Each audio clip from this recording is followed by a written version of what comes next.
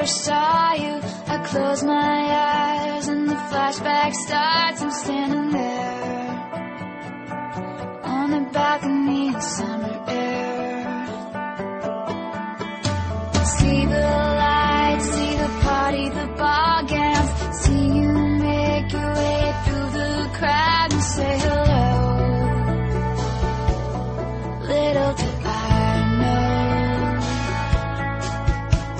that you